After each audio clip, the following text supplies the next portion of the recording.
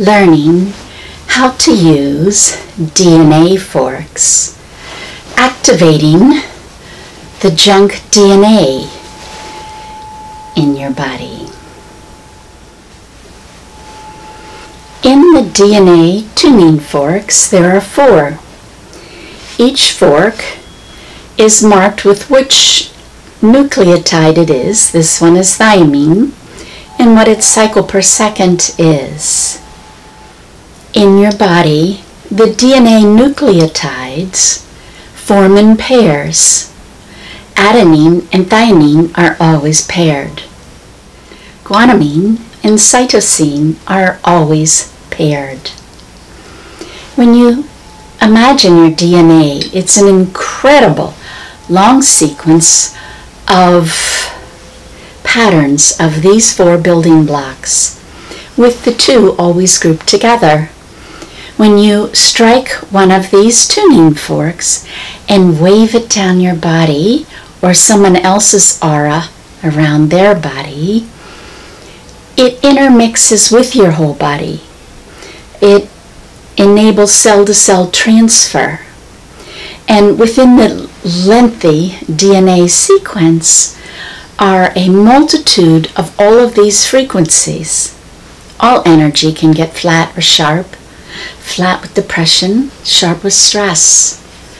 And here we go, we can tune up our DNA.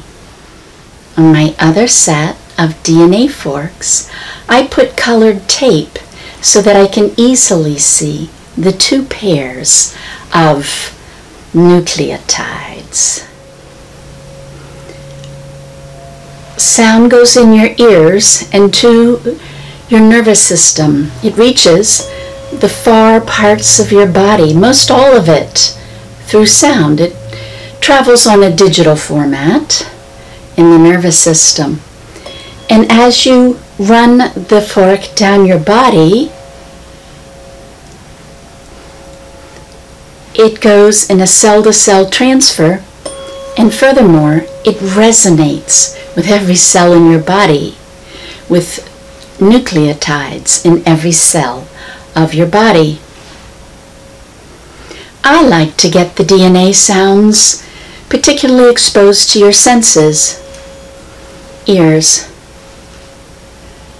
and I like to balance them on both ears, creating a whole brain function when I use two of them. Can also strike them on each other for a different type of sound. I also like to spiral the forks up the front of the body and the back of the body. After I have individually used each nucleotide and twirled it and covered maybe 6 to 12 inches, all inches of my body or someone else's, I then start to use them in pairs.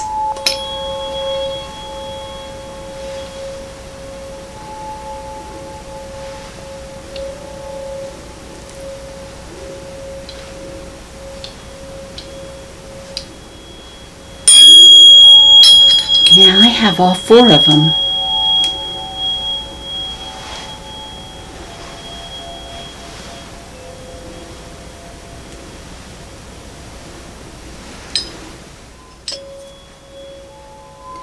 In general, a figure eight motion like this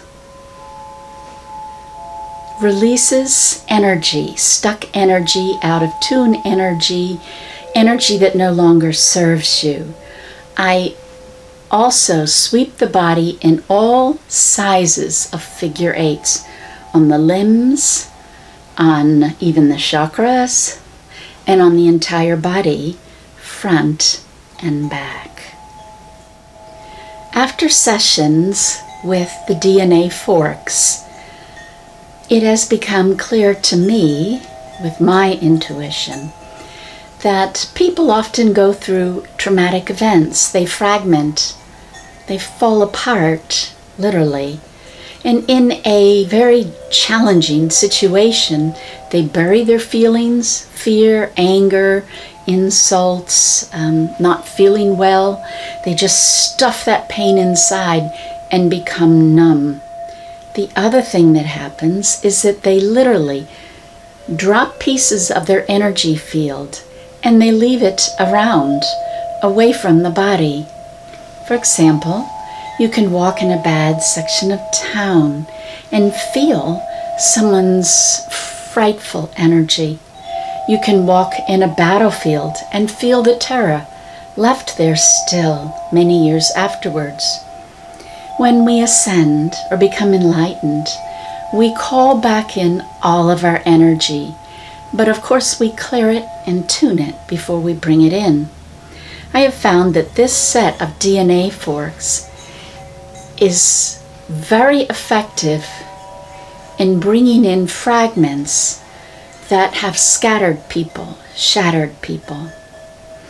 I have also had a lot of people report after COVID and the vaccine that these are centering and balancing, and a lot of empirical data from clients. One final thing the DNA forks seem to be extremely effective in long distance healing. So, what I do is I have a chair in my healing room and it's empty. And I imagine whomever I'm healing that is far away in that chair. I call in their body, mind, soul, and spirit. I simply call in my higher self. I imagine that I'm this big and I'm floating up my life stream. I connect with my higher self. I have my higher self connect with the other person's higher self. Come back down and I'm ready to heal. I do the entire repertoire that I just showed you for the DNA forks on the invisible person in my healing chair. The feedback that I have gotten is tremendous. How beautiful. Many blessings with one of the most powerful tuning fork sets, the DNA tuners.